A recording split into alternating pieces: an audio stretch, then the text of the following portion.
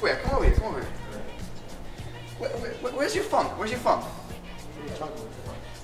You know, the, the almighty, the all magical, magical force in the world, the funk.